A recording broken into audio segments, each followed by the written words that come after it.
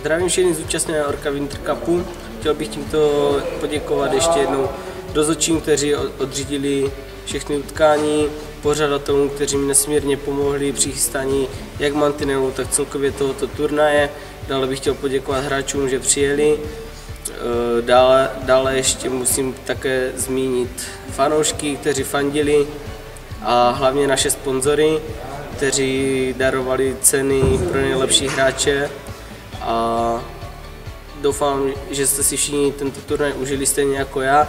Byly to super dva dny, sice trošku pro mě i stresové, ale myslím si, že se vše podařilo na výbornou.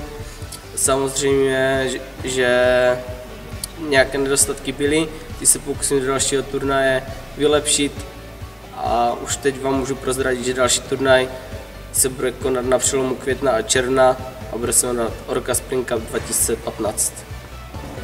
Budu se na vás všechny těšit.